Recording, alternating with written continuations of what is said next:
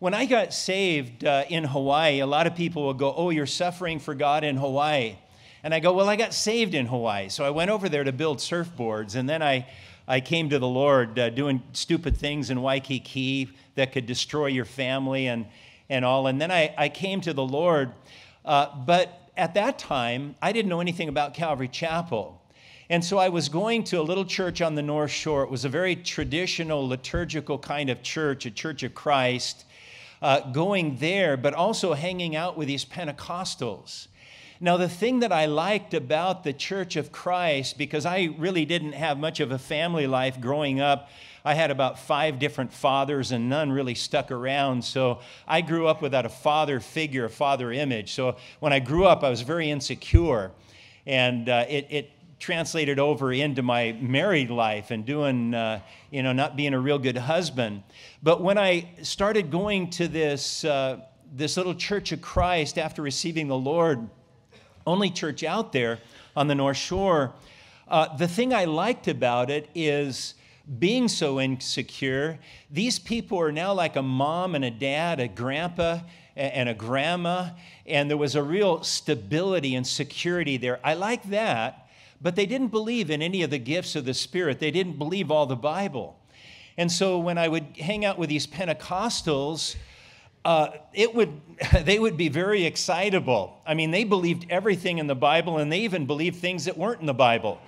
And uh, so I like the excitement and I like the security, but I, we really weren't in either of those.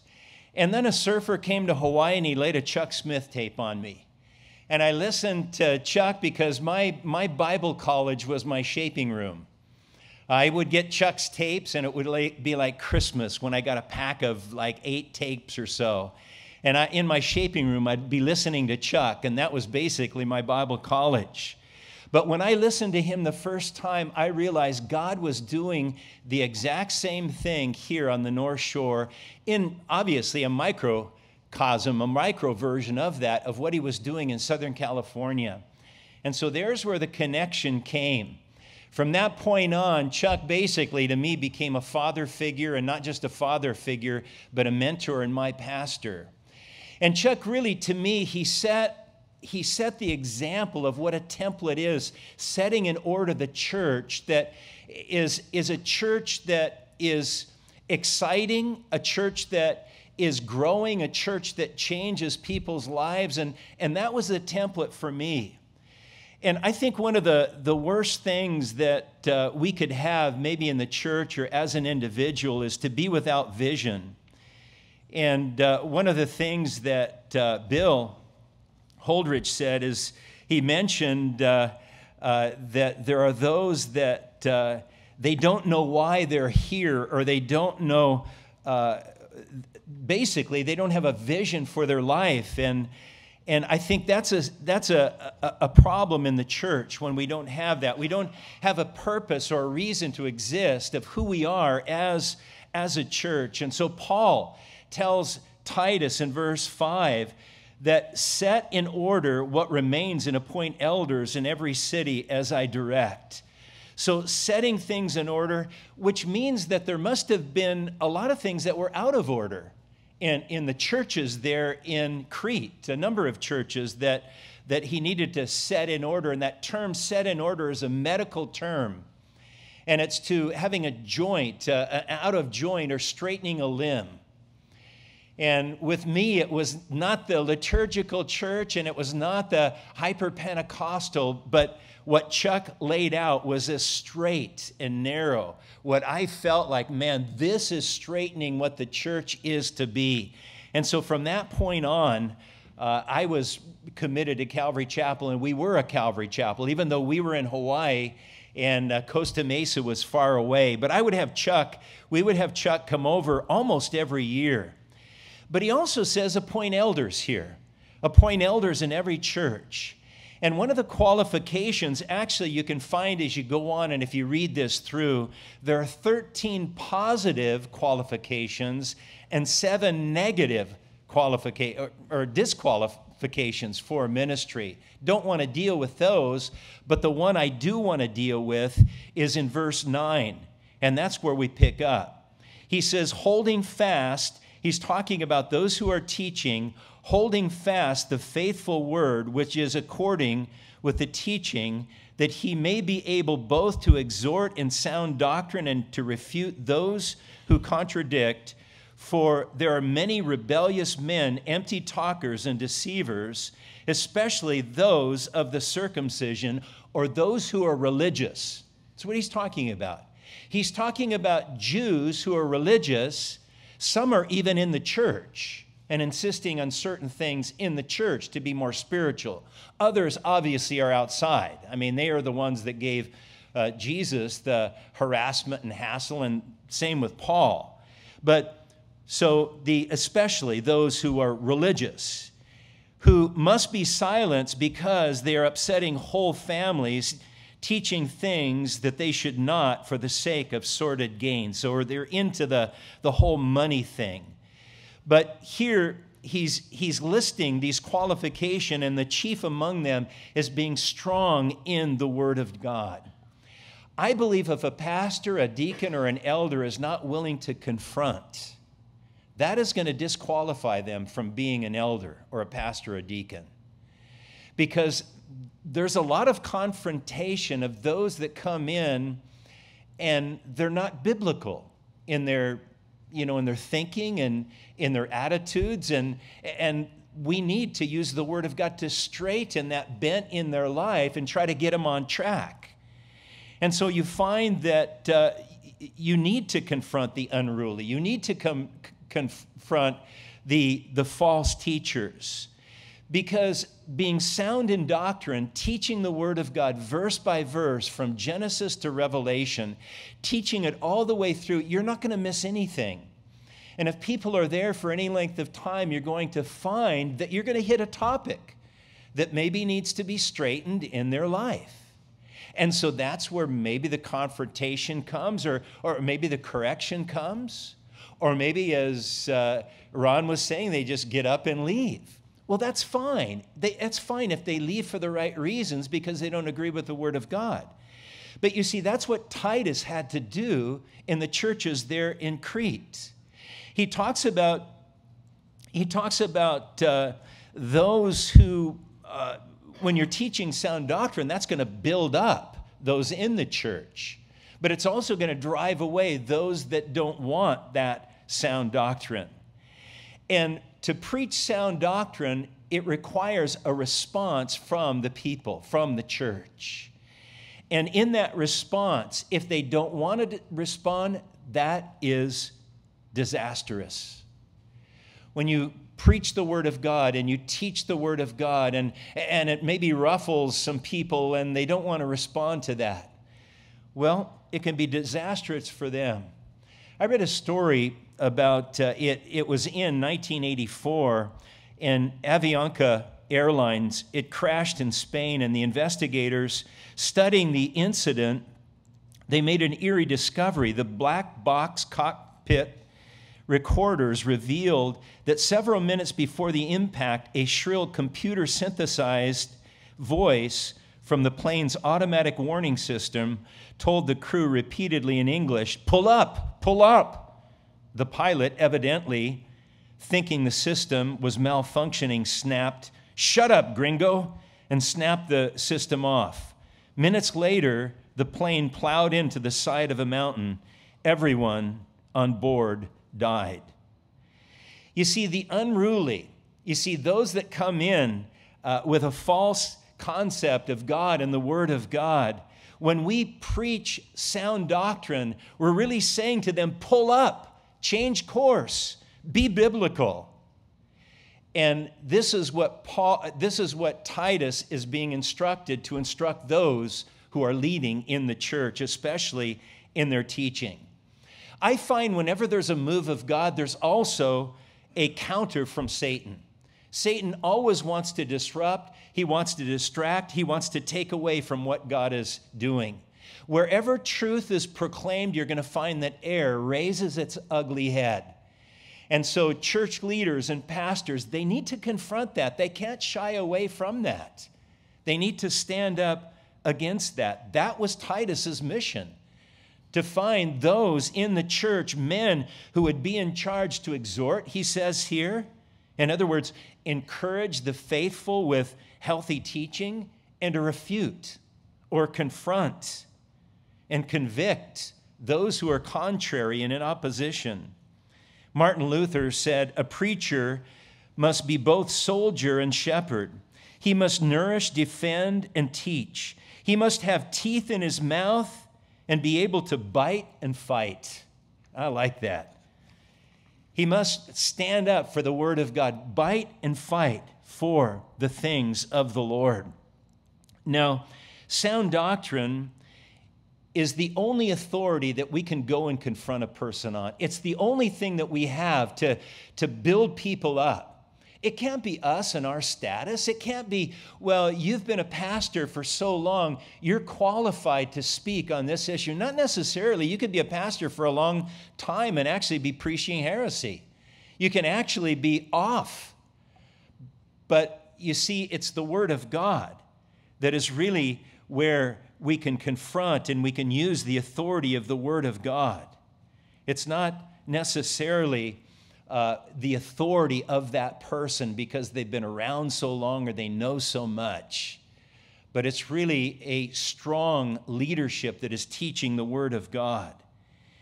And there were a lot of false teachers, false teachers that were troubling the church in Crete, in, in uh, Crete, in numerous churches in Crete. And one of the things, as you go on in, uh, in Titus, is there were those that said, you know, it, Christ that's fine, the cross is fine, but there's a deeper experience. You could really build your churches more if you just tap into this deeper kind of knowledge. And you know, there was a lot of that heresy going on Gnosticism and, and Jewish mysticism. And they were taking the truth of the Word of God and they were allegorizing it or, or making it uh, a, a kind of a, a poetry. In fact, Jewish myths, as he mentions there in four, verse 14, some are, are teaching Jewish myths and the doctrines of men. In other words, man's opinion, customizing the church, as I mentioned before, being an author. Boy, I want our church to be different, so we're going to do different things. We're going to be an author of a whole new movement. That's dangerous. You see, that's not new to our day and age. That was happening back in the times of, of Paul and in the times of Titus. And the Jewish myths, interesting. In fact, you find that Joseph Gaer, a contemporary scholar of Jewish literature and legends, he writes In their nostalgic recollection of biblical times, preachers often went far beyond anything implied in, scripture, in the scripture narrative. The more romanticized the stories, the more people like them. The book of Jubilee, a contemporary of Jewish, of, by Jewish authors on the book of Genesis, is embellished so much that the truth can hardly be discerned. Th- three of the points that in, contempor- in the commentary say the reason we keep the Sabbath is because the archangels kept the Sabbath. The reason we know that circumcision is so valuable is because angels were circumcised, and Jacob never tricked anyone. So, what you find is this Jewish mysticism that was running through the church. And that kind of thing, you know, it's in a different form, but it, but it happens today. In fact, they say in these things that when Abraham raised the knife to, uh, you know, to put Isaac to death, supposedly, I know he knew that God would raise him back, but they say the angels in heaven were so grieved that they were weeping, and the tears that are falling from heaven fell on the knife that was in Abraham's hand, and it melted it. And that it was the, the message that don't take your son's life don't take Isaac's life. Now, there are things that are going around the church today, and you don't even know where a person's at. I can assume that a person is right on.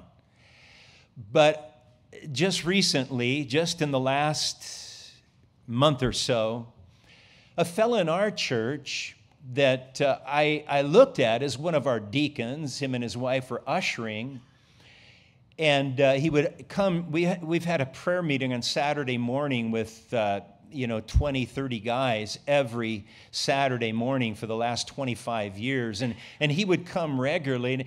And, and when he would pray he'd always open the scripture and, and, quote a scripture. This has been on my heart. He'd quote that and then pray in context of that. And, and I, I, I like the guy because he's a surfboard guy and he's an inventor of surf products. And, and uh, you know I, I really liked him. And then he came to me he gave me a book. It was a book on, on uh, creation, and it was by Francis Collins, and it was with the Biologos or Bios Genesis people. And as I'm going through this book, and I, I gave David the book back, I said, This guy is not even a Christian. Oh, no, he's an evangelical Christian because he claims to be. But this whole book is denying the first 11 chapters of Genesis. You've got to be careful, you've got to be aware because there is still mysticism going on if you don't believe that the first 10, 11 chapters of the book of Genesis are, are literal, you're on very shaky ground. If you think it's allegorical it's or, or poetical, you've actually destroyed, I think, your whole ministry. If, you, if, you're, if you're buying into that, that it wasn't six days of creation, that we are now, it's basically, let me back up it used to be, we used to talk about uh, evolution is the religion of the atheist. And then it moved more into the liberal Christians. The liberal Christians said, well, it's theistic evolution. Yeah, God started it, but then evolution finished it to what we have today. But now, with this biogenesis, Francis Collins and all those people that are part of that, it's creation evolution. And so it was started by God, but there were, was living beings before Adam and Eve, and it took millions of years to evolve in what we have today. And you go beyond the pale of Scripture, and you don't, and they don't believe in the flood. They don't believe in six days of creation. It goes on from there. And if you don't believe that, you've actually destroyed the foundation of the Bible and, and we could go through all the areas you've destroyed. But I said to this fellow, because he came into my office after I uh, contended with him, and I'm, I'm giving him all the stuff from uh, Institute for Creation Research and then creation. Uh, .com, which has some really good stuff. And I'm giving him all that stuff, Ken Ham stuff. In fact, we're just starting to use Ken Ham's Sunday school material, really good stuff. And I gave him all that stuff. And then finally he comes into my office just, uh, you know, a month or so ago. And what I'd tried to been working with him to bring him to, you know, what the Bible says. After probably a year and a half, he comes to my office. He hands me a, a packet of material and he says, Bill, we're leaving the church. And I said, You're leaving the church? Because you will not promote, you know, this whole theory that, that he has. He said, I'm an inventor and I believe in facts. And these are facts. And the Bible is not a book of science. And I said, Yeah, but the Bible has given scientific uh, statements even before science. The earth is round, the, the, the uh, avenues in the sea. I mean, and I went through a whole bunch of things. And, and I said, Why are you looking at all these uh, evolution people because they're looking at the Bible through their evolutionary theories. They don't have facts, they have data, and they interpreted their data through their secular mindset, their evolutionary mindset. Why don't you look at uh, uh, Evident, uh, Creation Institute or, or Ken Ham? And he said they're false teachers. It blew my mind because I thought this fellow was so right on set in order the things that remain. Don't take for granted that somebody is right on and, and they're believing the Bible, they're even reading the Bible. I had to come to the conclusion that he just doesn't believe the Bible or he doesn't read the Bible. You can never get into, at least in the days of Titus, into these Jewish mysticism stuff or the doctrines of man if you believe the Bible. And so they got into other things. Food back, back then in, in, uh, in Titus's day food regulations and washings and days and the commandments of men. And it was the attitude of the false teachers. That's what they were into. And so he tells them that you need to deal with these false teachers. Three things about them they're rebellious. That term there in the Greek is disloyal as a soldier refusing orders of his commander, unsubmitted. In other words, they're going their own way. And even though they're there in church listening to you, they don't agree with you. They, don't, they won't submit to the authority of the Word of God. That was an eye opener for me. And I've been a pastor for a long time. I didn't, I just figure they believe that. You see, Pastor Chuck, he set a template. Now, a lot of people, especially in Calvary Chapel, they want to change the template. They want to customize it. They want to do their own thing. And some of these are very successful in what they're doing. They've got a pretty powerful personality. But remember what Chuck said long time ago? That Calvary Chapel is not built on personality, it's built on principles.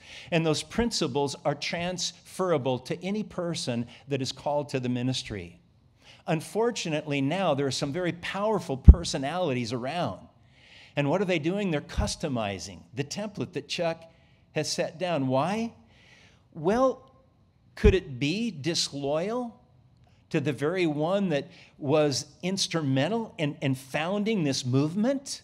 Could it be that? As Paul is telling Titus, deal with those that are rebellious. Also, they were empty talkers. Empty talkers, literally without profit, no content for spiritual growth, no power to transform. It seems like nowadays there, there's so many stories being told, there's so many jokes being told, and the personality seems to drive drive what uh, is happening. And, and some of the younger pastors, some of the younger churches that are influenced by that, they think they need to do that. And so customizing the template, and yet when you leave from there, you go, what did I get out of that? That was, that was pretty good, but it was more entertaining than it was feeding my spirit. I realized when I first got saved, me and Danita, we were almost divorced, that close. Then I got saved and, and I told her about it, and she said, Well, uh, she saw a difference in me, and she said, Well, okay, I'll stay with you for now, but if you ever become a pastor, that's when we get a divorce. she said that. About a year later, she got saved, and we've been married over 50 years. So God, uh, yeah, God, I'm more in love than I've ever been, you know, just really, really. And so, uh, what I, I'm, I'm getting to here is when I was hearing Chuck uh, teaching, my shaping room, I would get these tapes, I would listen to him. And Chuck, when he was teaching, it was my heart, all the evil in my heart was being wrung out. And it was being like my heart was put in a like a, a, sponge putting into the things of god. And i realized where i was failing. I realized how i messed our marriage up. And it took me seven years to mess it up and i had to give god at least seven years to put it back together and so i realized god through the word of god was just you know breaking my heart and I realized that if I lost my wife and my kids, because I didn't want them when I was a surfer out there, you know, surfing. I wanted to be free. If I lost them, I would have lost the most precious thing in my life. And it just caused me to weep because she wasn't saved at that point. And then she got saved. But it was the Word of God that was doing that work in me. Not, not some flashy light show with smoke and, you know, all the, you know, bells and whistles. It wasn't that, it was the Word of God. So why would we ever want to get away from that and entertain the people and say fun things. They go, Oh, wasn't that a good service? Oh, I love that story about his dog. Wasn't that good?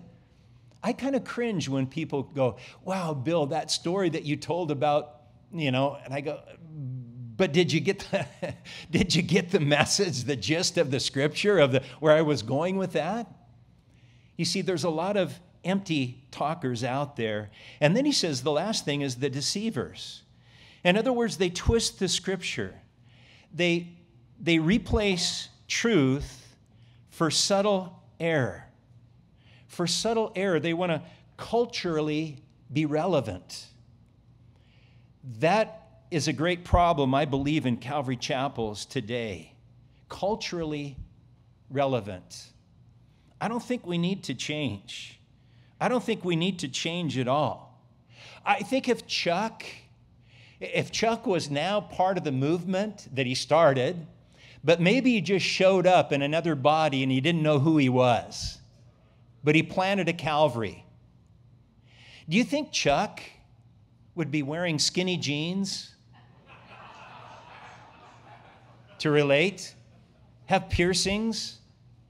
Have maybe uh, tats all over his body so he can relate to people?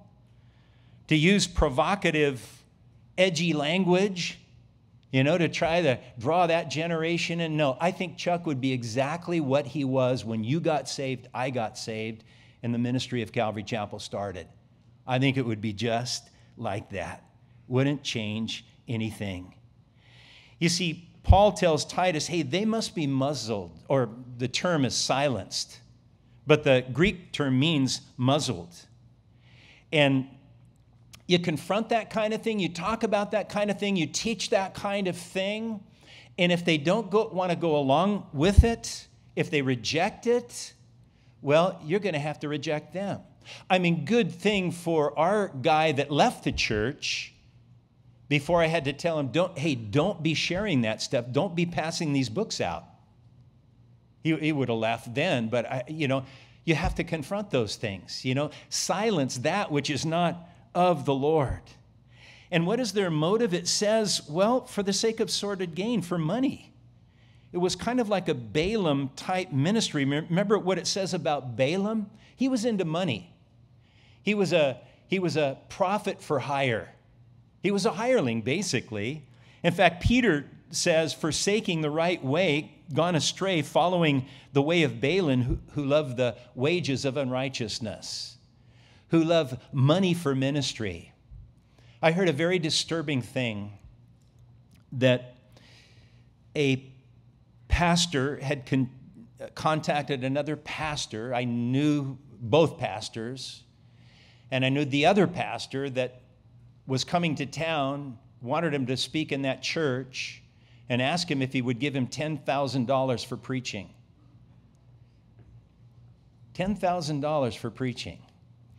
When we become that popular where we demand a, a certain price to come in and preach, there's something wrong there.